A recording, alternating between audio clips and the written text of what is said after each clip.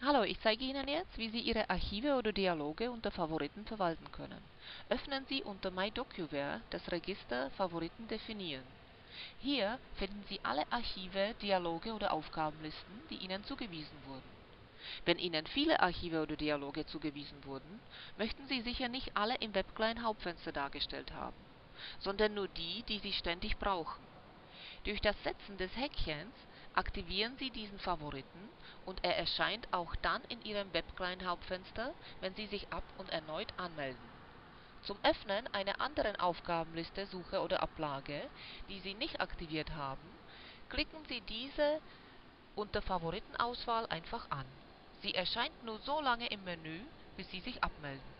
Probieren Sie es doch einfach mal aus